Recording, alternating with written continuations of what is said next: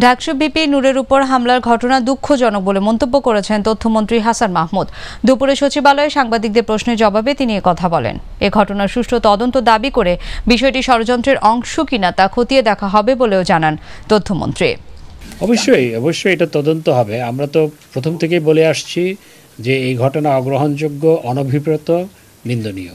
তার সাথে আমি যেটি প্রশ্ন রেখেছি যে এই ধরনের ঘটনা ঘটানোর জন্য কোনো ইন্ধন ছিল কিনা এবং আমরা অতীতে দেখেছি এই ধরনের ঘটনা ঘটিয়ে কেউ কেউ আলোচনায় থাকতে চায়।